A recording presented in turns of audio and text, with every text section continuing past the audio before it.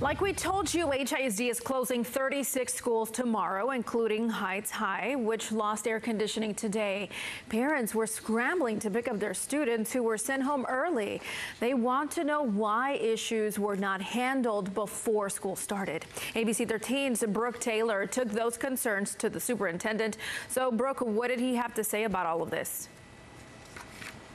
You know, there's one thing that's certainly clear, and that's Superintendent Mike Miles' top priority right now is making sure that students are back in the classroom.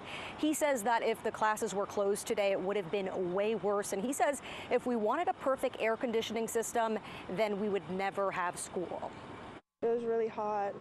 It was getting hard to breathe. I couldn't breathe in there. HISD totally bad call today. Frustrated students and parents as they return to campuses without AC. It was just so hot. On the third floor, no AC, no internet. Lauren Garcia attends Heights High School where the principal called for an early dismissal after students were already asked to come in. And you walk in those doors and the first thing you felt was heat. Many parents forced to leave work and pick up their students. I don't think they had enough time to really prepare and test the way they told us that they did. Um, it was an inconvenience for me to go to work and now have to be here to pick him up. Heights High School and Reynolds Elementary School in Sunnyside were both forced to close because of AC. Lamar High School in Upper Kirby also sent students home because of a gas leak. In total, 214 schools stayed open. Despite issues, Superintendent Mike Miles called it a successful day.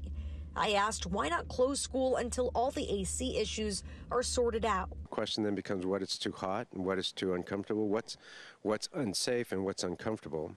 And everybody has a different range. So we ask our maintenance people to go out and we check the temperature.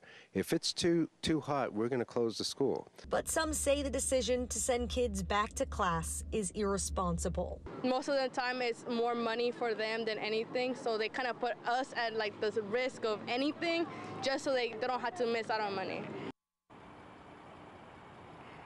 And if your child is unable to go to school because of issues like no power, the superintendent says they were excused from school today. They'll be excused again tomorrow. We asked whether students will have to make up these days that they lost, and the superintendent says as long as students are back to school by Thursday, he doesn't believe that will happen.